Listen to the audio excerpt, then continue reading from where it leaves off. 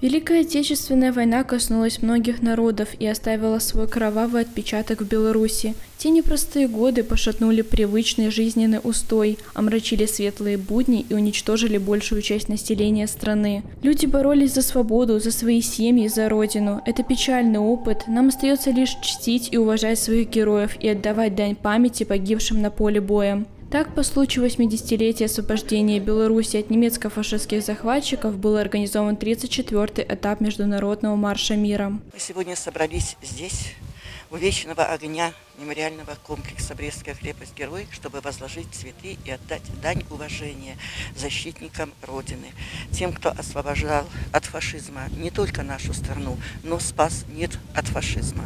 У нас Э, единые корни, мы братья-славяне, мы неделимы.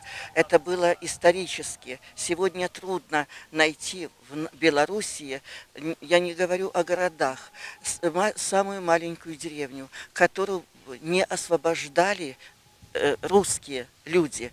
И, конечно, мы это помним, свято помним. Поэтому сегодня мы и здесь. Российский фонд мира, как и Белорусский фонд мира, это старейшие общественные организации.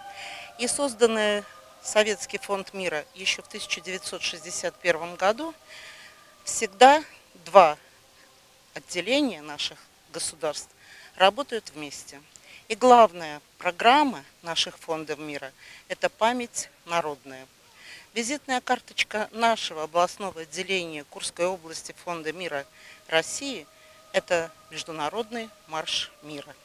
И в этом году мы приняли решение единогласно посвятить этот марш именно 80-летию освобождения Республики Беларусь от немецко-фашистских захватчиков. Мы составили программу этого марша и решили, что все шесть областей Беларуси достойны того, чтобы куряне познакомились с героической историей прошлого, с настоящим и с опытом работы миротворчества в Республике Беларусь. 34-й этап Международного марша мира берет свое начало в Курской области. Задачей проекта является оказание чести погибшим в годы Великой Отечественной войны, а также подписание соглашений о сотрудничестве с учебными заведениями Беларуси. Пройдя Витебск, Минск и Гродно, участники наконец оказались в Бресте. В первую очередь они посетили знаменитую Брестскую крепость. Порядка 40 человек делегации из России возложили цветы к вечному огню. И в знак выражения скорби почтили память павших минуты молчания.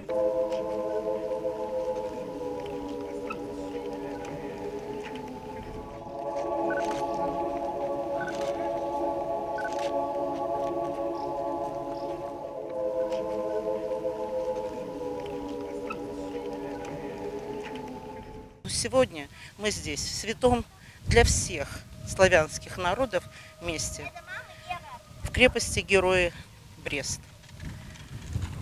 Мы уже бывали здесь не однажды, представители нашего региона, но каждый раз, посещая это место, невозможно не чувствовать гордость, горечь, память, без слез посещать это место, потому что действительно то горе, которое испытали семьи наших государств, оно и поныне кровоточит это раны. Вместе с тем, город Курск – это город воинской славы. И мы очень горды тем, что ваша республика, представители ваш город Брест и Брестская крепость, наш город Курск внесли свой вклад в победу в Великой Отечественной войне. Поэтому на наших знаменах, на в наших речах всегда звучат такие слова. Мы помним, мы гордимся, мы продолжаем эстафету поколений для того, чтобы никто не имел права переписывать историю нашей страны. Анастасия Пашкевич, Дмитрий Литвинюк, Юрий Лемонтович. Новости Бреста.